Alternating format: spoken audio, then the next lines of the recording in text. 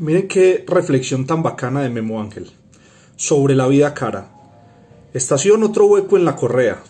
A lo que llega gente reclamando con la cuenta de los servicios en la mano, pues ha subido la energía, el gas y el agua. Mujeres tradicionales que les piden más dinero a sus maridos para que la canasta familiar no pierda más productos. Solteros que viven solos y piensan en volverse a vivir con sus padres o alguna tía para compartir arriendo y comidas. Y oficinistas estudiando de mediodía que van a comer al mismo van a comer lo mismo en un restaurante que se sabe de memoria. Pero ya el almuerzo vale hasta un 15% más. Algunos proponen en la fila cómo comerlo individual, pero ya en pareja o mejor volverse veganos y traer en cocas lo que puedan sembrar en sus casas. Zanahorias, rábanos, pepino, lechuga, cilantro, perejil, brócoli, pimientos.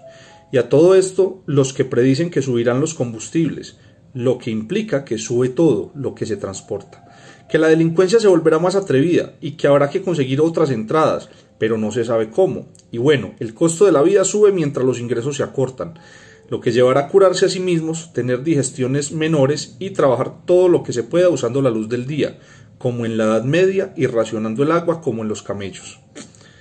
Es claro que vivimos tiempos inflacionarios que apuntan a la recesión y la estanflación si no se toman las medidas necesarias que haya libertad alimentaria y se evite la importación de alimentos que se puedan producir aquí, casi todos.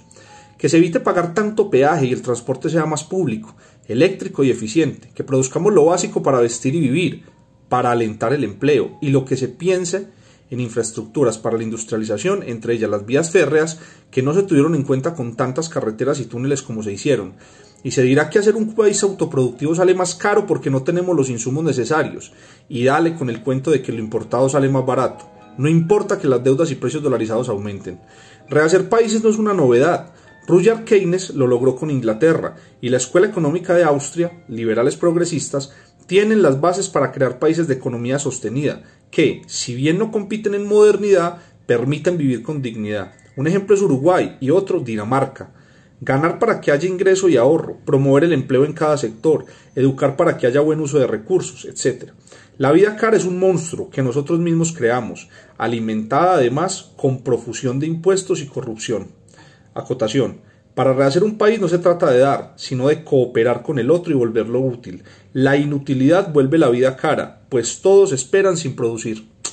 Memo Ángel, en la columna espectacular que sacó, brutal. Tiene toda razón. No voy a decir nada más para no cagarme la columna que estuvo de lujo. Ahí se las comparto.